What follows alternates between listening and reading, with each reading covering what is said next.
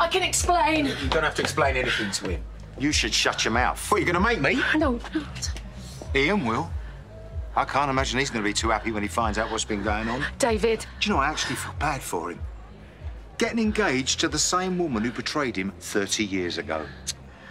He don't look too clever now, does he? No, David, wait. No, stop it. No. He's going to talk Dad. Ian, you're all No, he won't leave it. I- I'll talk to him. David, what are you doing? You are so predictable. Don't do this. Do what? I just want a quick half, wet the whistle before I head off. Just hear me out, please. Do you know, I must be losing my touch.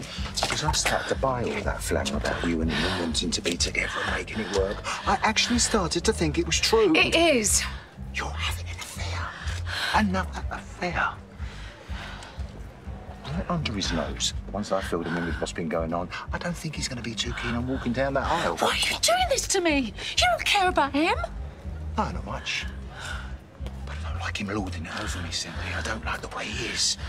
Like he's the big man and I'm nothing. Someone has to wipe that big, fat, smug smile off his face. Unfortunately, that person is me. No, please don't. Don't. I will lose everything. My family, my security. Just, just give me ten.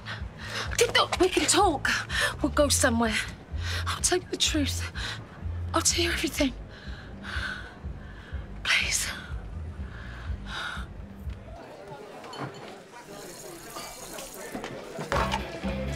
You all right? Yeah. Yeah, yeah. Of course it was Lucky Punch. Unacceptable. Totally unacceptable. Look, don't worry. No, it's what he's like. I mean, he always has been. I mean, my so-called half-brother, I mean, he shows me no respect. None. Let me get you a glass of Prosecco. I make up for it, yeah? Uh, David's come to do the books, tax stuff. Uh, he's a bit of an expert. Yeah. Tax avoidance, my speciality. Um, yeah, it's a bit of a private matter. Uh, could you do that another time? We haven't finished testing out the recording stuff yet. Uh, tomorrow, maybe? I- I'd really appreciate it.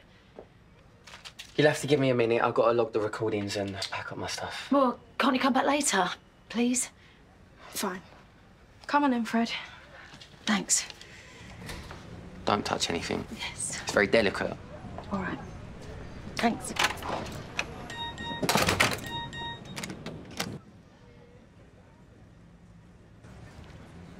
Well, come on, out with it.